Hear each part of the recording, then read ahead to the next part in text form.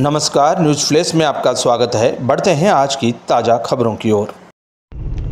परबतसर सहित आसपास के ग्रामीण क्षेत्रों में रविवार को करवा चौथ का पर्व धूमधाम से मनाया गया।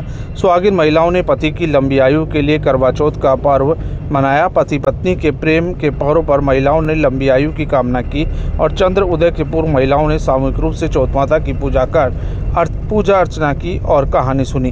पूरे दिन व्रत के बाद चंद्रमा को अर्घ्य देकर चंद्रमा का दर्शन कर आहार ग्रहण किया।